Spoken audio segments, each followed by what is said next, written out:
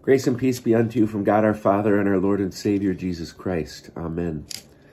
Today is Thursday, December 16th, 2021. We are in the third week of Advent.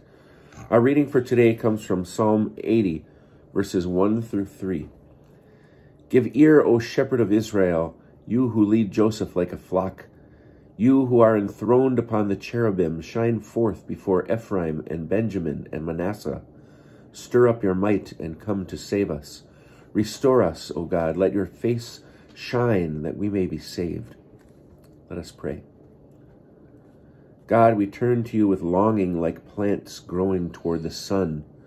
Your mercy restores us. Shine your care on all who have come to the end of their strength. Renew the whole world with your daily dawning. We pray this through our Lord and Savior, Jesus Christ. Amen. Be blessed.